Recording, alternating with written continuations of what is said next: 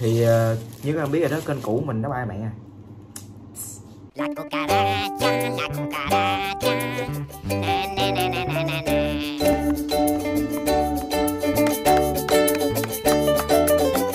nói chung thì mình tạo cỡ cái chục cái ạc xong mình lên mấy chục mấy trăm ngàn mấy triệu còn được. Má thì ngày hôm nay mình sẽ order một con bao bao bluetooth Velocis Orange.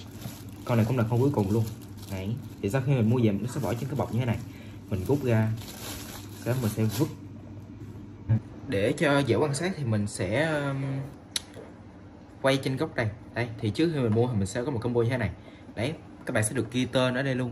Đó chính là con mình mua là bao bao, bluetooth Velocis Orange. Đấy level 4 con này là siêu hiếm luôn.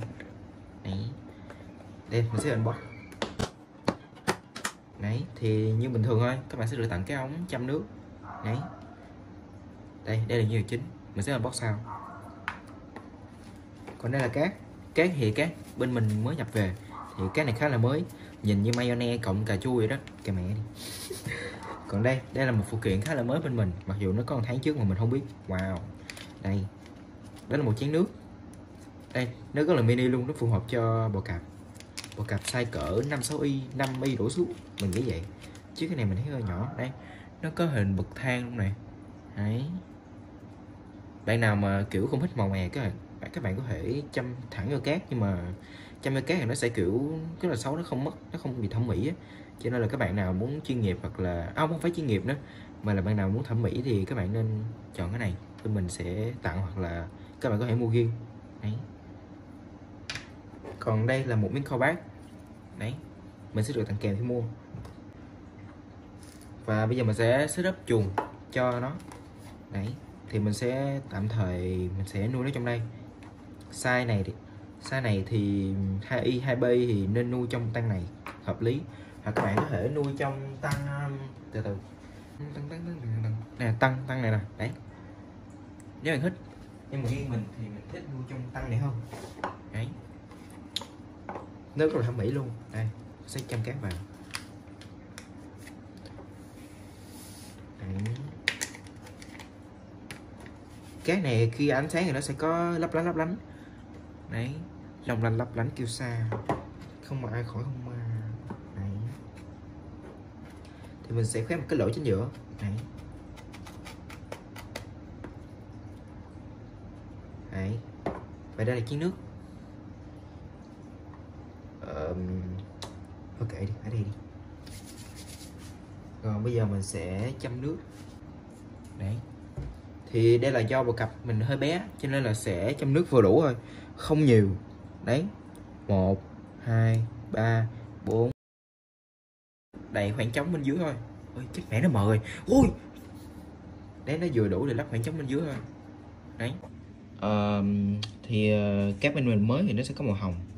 Cho trên đây cam nó sẽ không được đẹp cho lắm. Đấy thì mình lỡ làm gớt một vài giọt ở đây rồi, cho nên là mình sẽ cố gắng sửa lỗi của mình. Này, như mới. Đấy, mình sẽ được cái tay như thế này? Ở trên sẽ có logo bên mình. Đấy. Rất là đẹp, nhìn rất là chuyên nghiệp. Đấy. thì mình cùng đến với nhiều chính, đó là con Barbatus over gì đó? Velocis Orange. Đấy. Đấy khi size nhỏ thì nó sẽ không được đẹp. À, nói chung là cũng đẹp. Rất là đẹp. Đấy các bạn đặt nhẹ nhàng xuống. Nó sẽ tự nó đi vào. Ok nó không tự đi vào cho nên mình sẽ chích mỏi. đấy. Thì mình thấy nó bu lại nó uống nước này. Đấy. Đây là một đây là lần đầu tiên mình thấy bò cạp sa mạc mà nó uống nước luôn á. Lần đầu tiên. Mình chưa hai năm rồi hai ba năm rồi mà bây giờ mình mới thấy á. Phái biểu. đấy thì do là đó giờ mình chăm dưới cát mà cho nên đây là lần tiên mình thấy vậy. À mình mới, mới biết là quan thắng nó ác. Nó ác cực kỳ luôn thấy không? Mềm ta nói mày nghe mày bỏ đói mày bỏ đói mày bỏ khát nhỏ giờ nhỏ nó khát nó uống rồi.